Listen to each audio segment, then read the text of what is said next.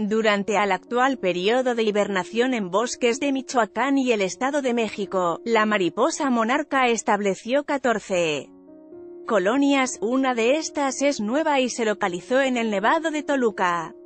De acuerdo a la Comisión Nacional de Áreas Naturales Protegidas CONANP, y la Alianza WWF Fundación Telmex Telcel esto significa un aumento del 144% en relación al monitoreo de 2017 a 2018, investigadores de ambas instituciones, en coordinación con las comunidades locales, explicaron que se detectaron ocho colonias.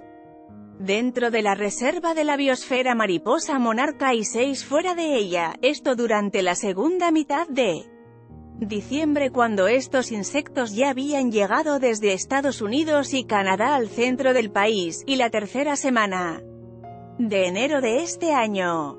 En el Estado de México se reportó una colonia en el ejido El Capulín, santuario.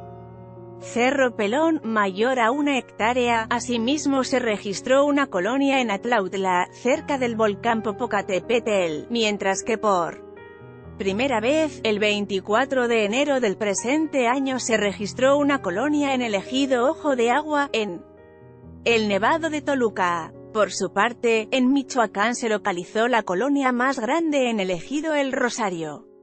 Santuario Sierra Campanario, así como la más pequeña en el ejido Contepec, Santuario Cerro Altamirano, dato.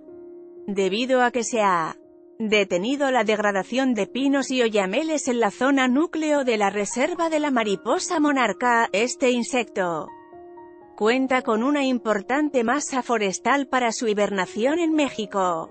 Lee más de El Sol de Toluca local.